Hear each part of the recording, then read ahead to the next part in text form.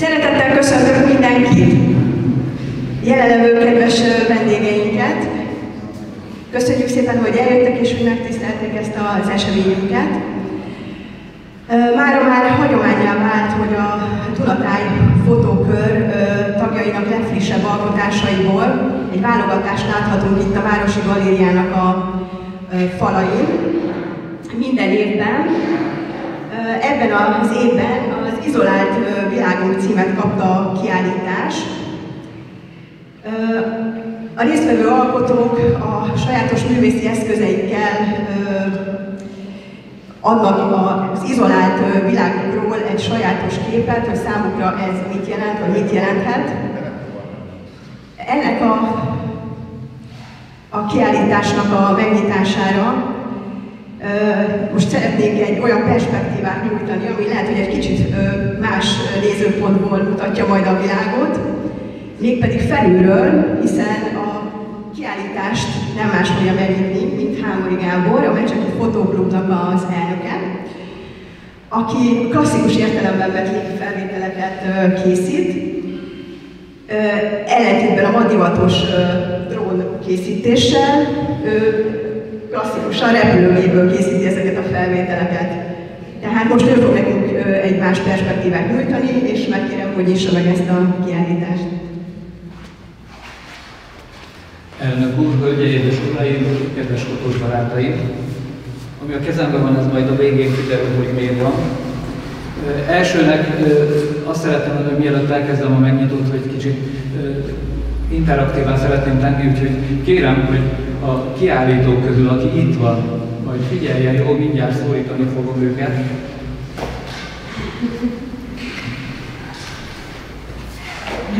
Egy kis játékja. Mivel fényképezésről van szó jelenleges körülmények között, ezért ezzel kezdünk, hogy hogy alakulhatott ki a fényképezés. Úgyhogy most miért még beszélnék erről a nagyon fontos dologról, hogy hogy is lett fényképezés, meg mióta, meg miért. Azt kérem, hogy most mindenki a jelenlevő kiállító közül azt, amit én Török Tibor Töcát barátommal üzentem, hogy hozzatok magatokkal valami kis nem túl nagy tárgyat. Úgyhogy most kiállító hölgyek, utána pedig népsor szerint az urakat kérem, és hozzátok ide a tárgyaitokat is, és majd oda teszek egy-egy fotópapírt, és arra tegyétek fel, legyetek szívesek. Egy az időnk, az exponálás, nagyon jó, köszönöm. Csak ezt kapjam vissza. Az is jó, köszönöm.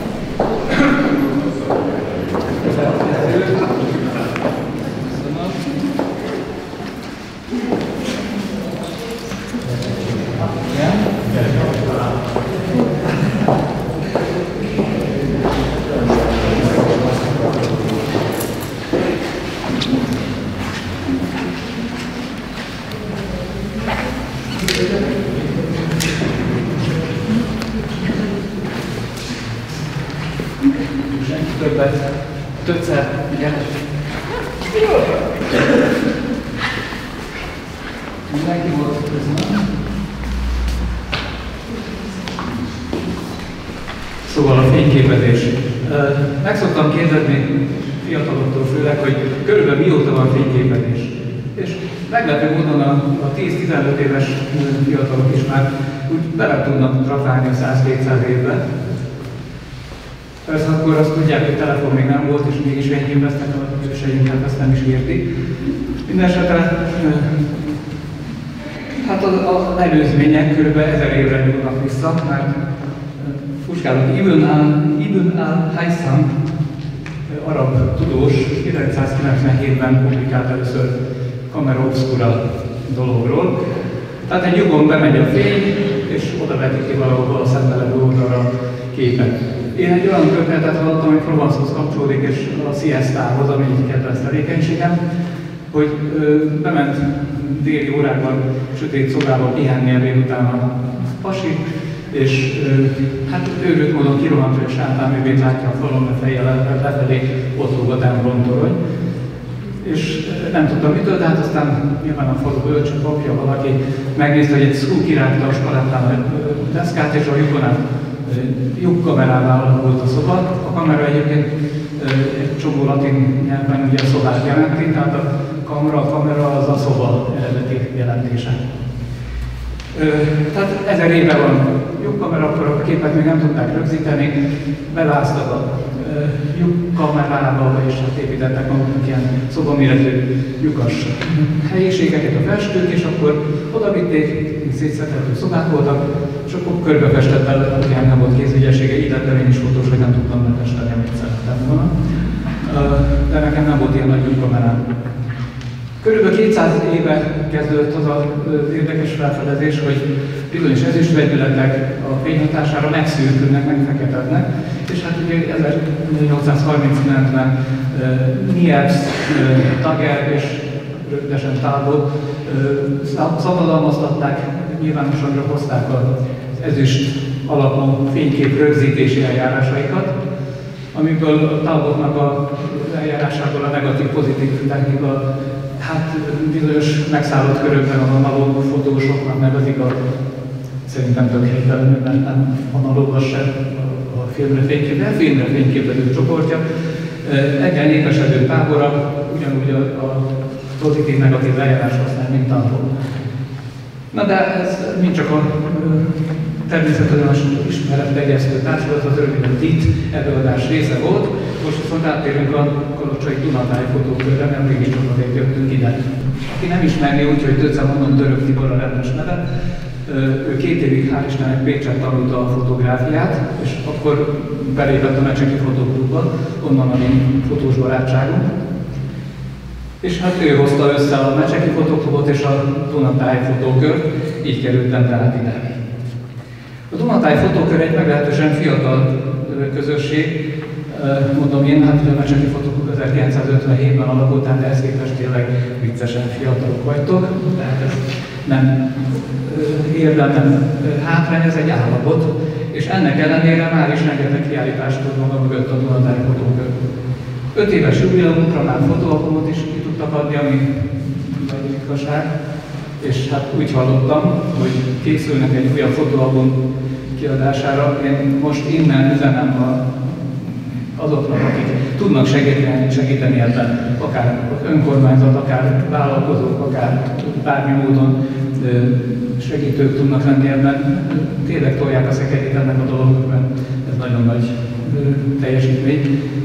Kolocsának néhány fotósabb energiáját, tudását, tehetségét erre áldozza, hogy Kalocsáról fotóalbum készül, ezt meg kell becsülni és támogatni való.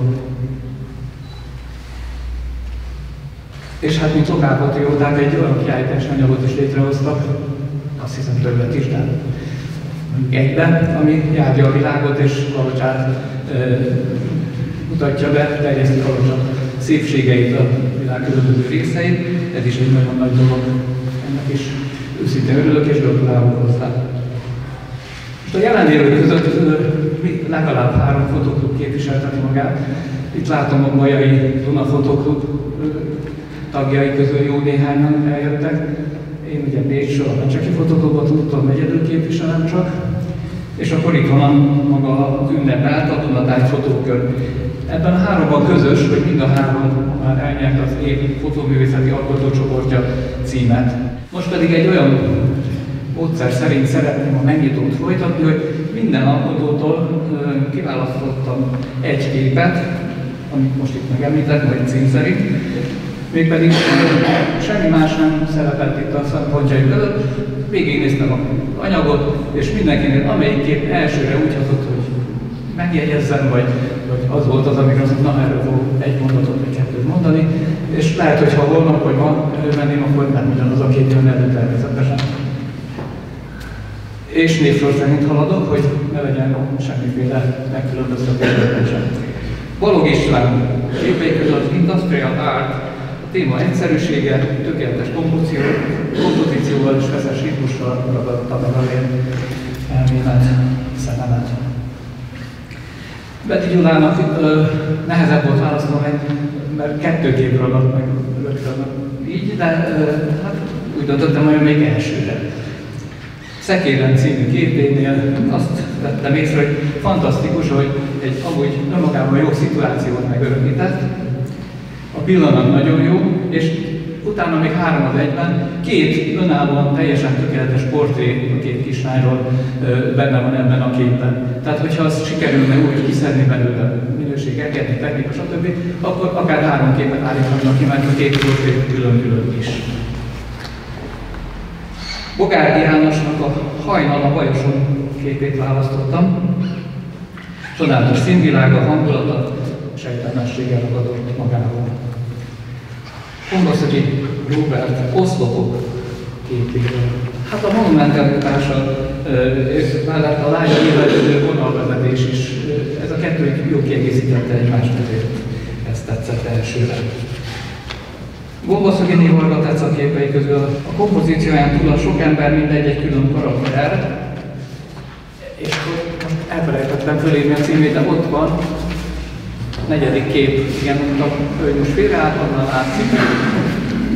Köszönöm szépen. Jakos Szilviának már rég ültek itt című képét. Itt ugye a fény-árnyék viszonya, az égiséget kifejező színvilága, a cím is hozza a mondani valót. Aztán rögtön utána még egy mesebeli színvilág, a kapitány László, ő neki nagyon mesebeli a színvilága, a Csodaországban él magam ettől a képtől. Itt sem írtam címet. Bocsánat. Mészáros Máté Szabotás című képe, egy igazi riportfotó, esküvő, szabvány esküvői szituáció arra felé, és ő ebben a, a szokásos feladatban, az ifjú pár pap előtt, stb. Ebben egy tündék riportfotót, egy kedves páros pillanatot tudott idehozni meg. Nagy Eriknek a Manó című képét választottam. Nagyon fotogén ez a motivum amúgy, sokan fényképenek hasonló, csak az alatt egyszerű megoldással, hogy szimmetrikusan megduplázta a dolgot, és ebből létrehozott egy új tartalmat, a manót tényleg. Egyedi létett és nagyon vidám, szép kép. Pió Zoltántól a Szelidi 88-at nevezem meg. Szinte a gics színvilága az, ami ott van. Tehát az, amikor azt mondjuk, hogy jaj, naplementés, naplemente után meg ez a szép, tud lenni gicses is. Itt egyrészt nem gicses, mert jó érzékel, jó ö, arányban szerepel ez a színvilág, és ö, ez az abstrakt motivum, ez a két karika autógumi, ami szintén nagyon gyakori, akik csónakáznak, horgásztak, ahol ezerszer fényképezetnek ilyet. Na de így, hogy ez a kis plusz, hogy ez a fricska 88-22 kerékkel nekem nagyon tetszik. Sebőkné Arnold Erzsébet elszédülve című képe. Hát egy percig néztem és elszédültem. A galambok pedig rendelésre pontosan oda mentek, ahol a kompozíció igényelte. Sötét és a világos sárga egy egy Szabó Gábornak a kő és az ág marad, annak a festőiséget visszafogott harmonikus színvilága, amit kiemelnék. Dén István képe Perzsa Veronika, finom sárgás-zöldes színvilágában nagyon kontrasztos a kék színkontrasztal, ezért ez ragadt meg bennem.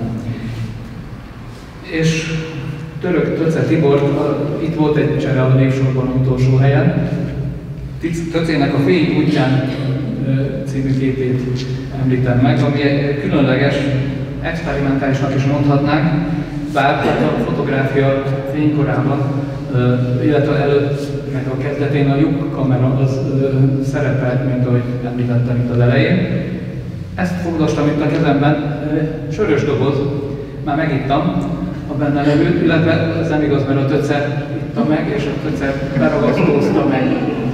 Mindent csinált vele, itt az elején van egy picike lyuk, lehetőleg egy 2-3 mm ne nagyobb lyuk legyen. A végébe be kell tenni a fotópapírt, és akkor lehet vele fényképezni nulla forint befektetéssel. És Töce, mivel egy hétig exponálta azt a képét, ezért egy olyan különlegességet hozott létre ezzel, ami teljesen más, mint amit megszoktunk. De nyilván sokan nem is tudják, hogy ez fénykép, vagy mi az össz, de hát fénykép, mert fényjel készül, fényérzékeny papíron rögzítette a képet, úgyhogy igen, különleges képet látunk ott a bejárat mellett rögtön. Most, hogy véget ért az a unalmas része a dolognak, amikor csak beszélek és nem csinálom semmit, a fény az közben elvégezi a dolgát, ugyan egy biztonság egy lámpát beállítottunk, de nem volt rá szükség, mert ezek a fénycsövek eléggé megvilágították ezeket a földre helyezett dolgokat. Most akkor mindenki lát újra oktatás követelő itt előadás. Ezüst bromid hatása, a, jaj, most eldőttem a poén, a gammasugarak hatása a százszorszépekre nevezetes film után plagizáltam, hogy a fénysugarak hatása az ezüst bromidra. Ezüst bromiddal bevont papír, azaz fotópapír van ott a földön most 11 darab, és az ezüst bromidról is, jodid, stb. Eh, ahogy említettem az elején, fényhatására megszürkül. Eh, nyilván, hogyha két napig hagynánk, akkor sötétebb szürke lenne, de még mindig nem az igazi, ezért találták ki az előhívó, stb. vegyszereket. De mi most ezt nem hoztuk ide, mert meg ilyen sötétíteni, ez macerás lenne. Viszont ezzel a kis játékkal most minden jelenlevő kiállító egy egynapos emléket vihet haza a kiállítás megnyitóról. Hát ha beteszitek egy sötét valami könyvbe, vagy valami, hogy ne kapjon fényt, akkor több napig is eláll, de hogyha csak simán kivisszük, és éri a fény, akkor akár de erős fényben fél óra múlva, szobafényben meg minden fél nap, egy nap alatt fog elillani ez az emlék, ugyanúgy, mint ahogy a kiállítás is pontosan nem tudom, két-három hétig látható -e, egy hónapig, utána elillan és az emléke marad. Ezt az emléket őrizze mindenki a lelkében, és ehhez segítség ez a kis kísérleti fotogram, amit most készítettük. Köszönöm a figyelmüket, türelmüket és élvezik a kiállítást. Gratulálok a kiállítóknak!